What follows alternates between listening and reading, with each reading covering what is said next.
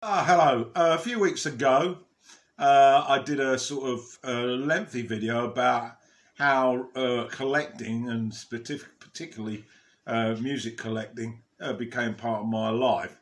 And in the course of that video, I highlighted, I think, one, maybe two vinyl records that I have here in Thailand. I, I have a number of them, about 200 in total that I brought over on the boat uh, 27 years ago. I haven't really played them uh, that often because uh, difficult getting uh, the right environmental conditions here, coupled with the problems over turntables. Uh, so most of the time they uh, stayed in their boxes, but following a discussion with one James Griffiths, who has supported my channel since it began, and I also uh, enjoy his videos. He suggested it might be an idea if I put together some vinyl collection videos. So, big deep breath. Uh, I gave it some thought and I said, what the hell, let's do it. It's not really my style. I like to research. I like to get uh, some a lot of information, and I generally sort of uh, have uh, notes prompted on the computer screen, and then I create the story behind the record via that. But so this is going to be very different. I'm going to actually uh, use vinyl records, and I'm going to be putting them in front of the camera. Would you believe it? and I'm going to try and ad lib. Uh, so uh, this might become a complete disaster. Um, but uh, let's see what happens anyway. Basically, I decided that to get one box out, and I just lifted the first six uh, albums uh, in that box in no particular order. Uh, and so those are the ones I'm going to talk about. so let's get on to the first one, and I'm reaching down and let's get it out. And here it is. Uh, yeah, it's uh, the debut album by one Captain Beefheart and the Bad Magic Band. Now, I bought this in 1970 and it wasn't the original release. There was uh, the original release, of course, was in 1967. Uh, Beefheart had emerged in 64 uh, following a friendship with Frank Zappa. They went to college and they both then disappeared in separate directions when their project didn't work and they set up their own bands. Of course, Frank uh, created the Mothers of Invention and uh, Don Van Vliet, as his real name is, uh, established the first uh, Magic Band, Captain Beefheart and the Magic Band. And the release in 67 was Safe as Milk. And uh, there was basically, uh, uh, the, the, style of music, has to be said, was really influenced massively by Delta Blues. Uh, and um, it was quite an astonishing record, really, all in all. Um, Alex St. Clair, uh, John French, and the third guy. Hang on, I'm just going to consult my notes. First bit of notes of the day. Uh, Jerry Headley were the core of the band alongside Beefheart and his vocals, and he threw in some harmonica. So those three members basically were guitar, bass, and drums. Uh, but when they got in the studio, uh, they got some help from uh, Ry uh, and uh, Russ Titelman, and they put together this uh, first album, which was called Safe as Milk.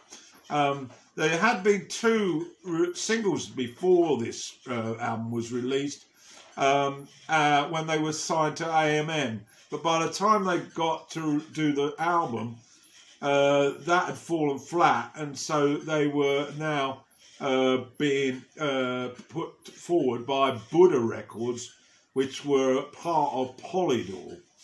Uh, and uh, the original cover was not this. This was the reissue, as I say, that took uh, that took me out of my comfort zone in 1970, and uh, it uh, was on a budget price, uh, 99 pence, uh, pence being uh, 101 pound. So it was dirt cheap. And following my regular listening to the John Peel show uh, on uh, UK radio, uh, and he was always uh, pushing Beefheart, um, particularly at that time, uh, 70, it was um, Trout Mask Replica.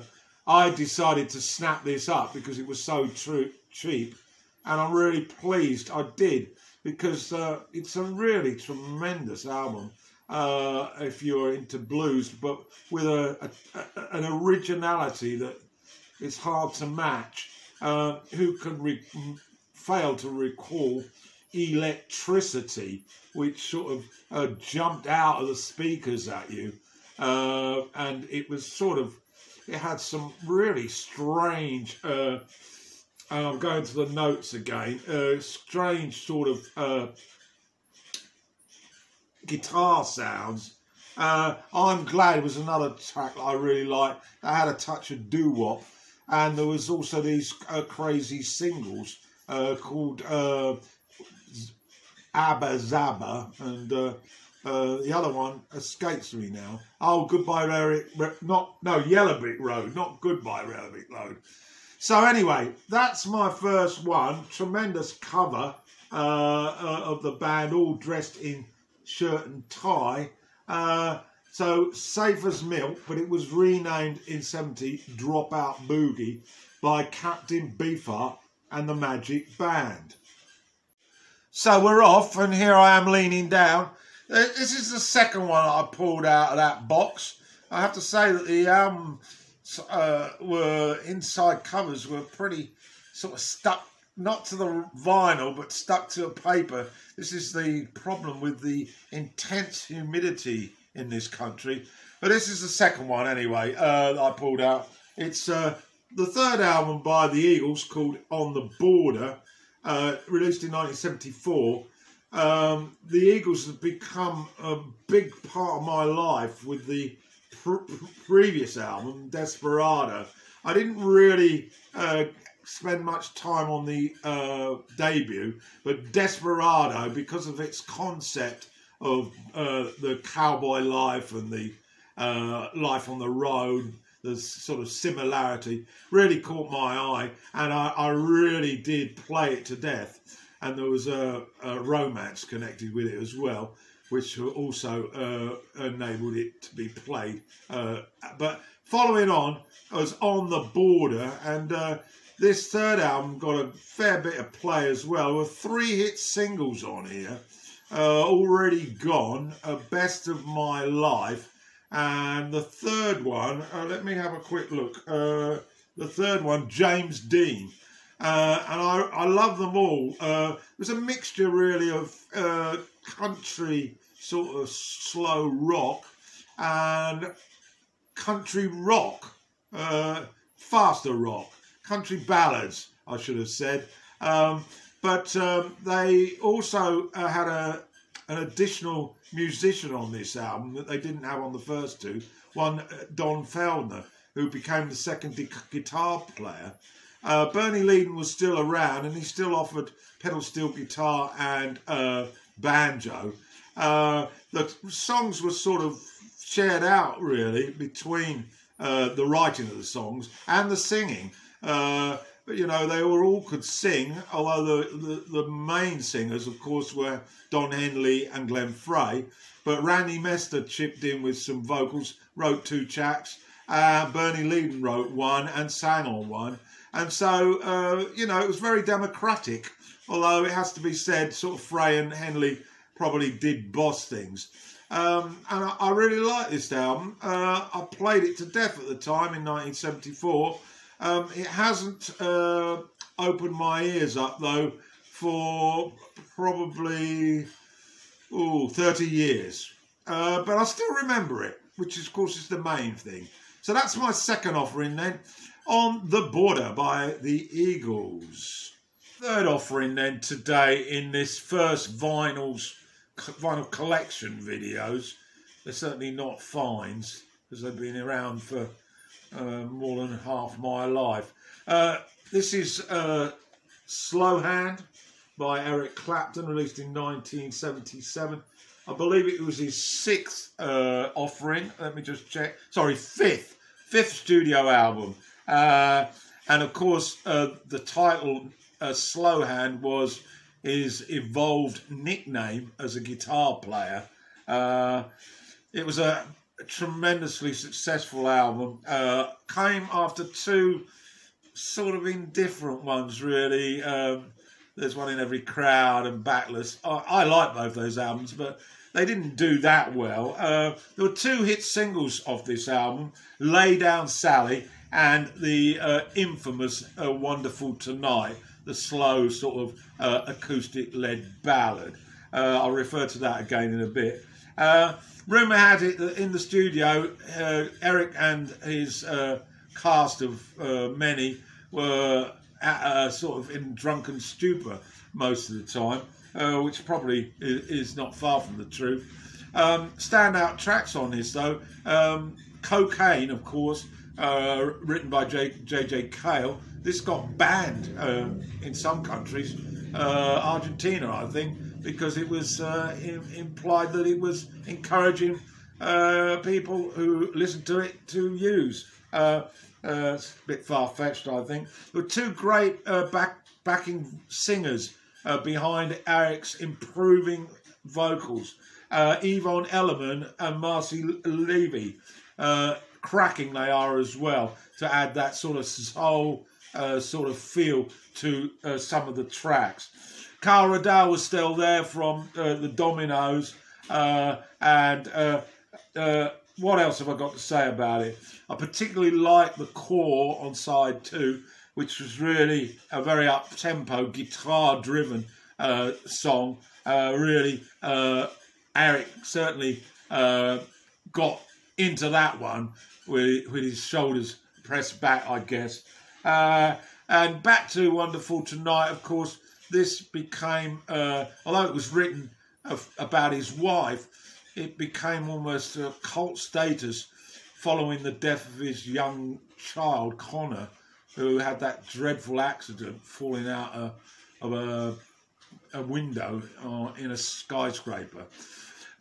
But anyway, Eric Clapton uh, has been a big part of my music life. Uh, I saw him live on one occasion, uh, and it, it's still as vivid. And whenever a Clapton album comes along, I, I grab it quickly uh, on digital. uh, the man can do no wrong, although politically I have some issues with him. But in terms of music, uh, absolutely superb. So that's my third offering.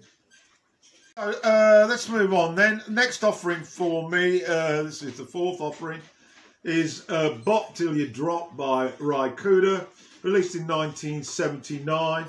And it was his eighth uh, recording. Uh, pretty prolific, really, through the 70s. And uh, I found him uh, early on in the 70s, uh, involved with projects with Captain Beefheart, as previously mentioned, and also Little Feat. Um, a big fan of him. This album was the first album that was digitally recorded in 32 track. Uh, so the sound was quite radically different. It's a great album, mainly covers uh, of sort of rhythm and blues and rock and roll uh, classics that people uh, have never heard of. Uh, of course, Riad. Um, it starts off with Little Sister, which was done by Elvis and some other tracks that catch my eye. Um, Don't Mess Up a Good Time, where, where he duets with, uh, and I, the name escapes me here. Anyway, it's a duet. The only track that isn't a cover written by Ry is Down in Hollywood, uh, and it features Chaka Khan, and she was the uh, the other uh, person duetting on that track I re- recalled earlier. Uh, Ry, of course, slide guitar is his uh, meat and potatoes, and he also conducts himself on violin. Uh, we also uh, heard on this album one Bobby King uh, on backing vocals, who then proceeded to be around forever in Ry Cooder's band. Jim Keltner on drums, that's a familiar name uh, in American uh, uh, recordings. And it's just a wonderful piece of work. Uh, but that could be said really for every Ry Cooder's album that's been released. And I've got most of them, uh, either on vinyl, uh, I've got some on cassette, and of course I've got lots on digital. So there we are, that's my fourth offering, Bop Till You Drop by Ry Cooder. Fifth offering uh, on this, uh, well, monumental, monumental leap by me uh, into the vinyl community. Uh, not cheating anymore with my digitals. Uh, but here it is. It's uh, Lloyd Cole, and this uh, was his first debut album, sometimes called the X album. And you can see uh, vividly the X across his chest. Um, Lloyd Cole. Um, this album was released in 1990, and the previous few years he'd been the frontman in an excellent British band called Lloyd Cole and the Commotions. Uh, I came to them uh, at the stage of their uh, debut album, Rattlesnakes. And if you haven't heard that, it's an absolutely super uh, uh, rock, country, uh, all style singer songwriter piece of popular music.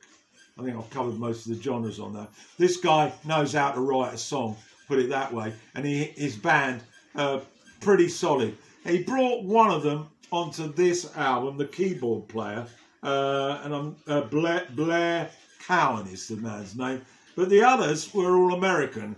He sort of relocated to New York City uh, two and a half years post uh, the demise of the Commotions. Uh, sorry, the last album by the Commotions called Mainstream, uh, and um, basically he put together some really nice songs uh, that I I do like, but they tend to be quite forgettable because they have uh, a certain similarity. But you've got to admire his singing talents, and they are very very well played. And he's got some good musicians in uh, to create that uh, sort of sound. There is a bit of synthesizer thrown in here, and Lloyd also uh, does some harmonica and piano alongside his uh, rhythm guitar and acoustic guitar.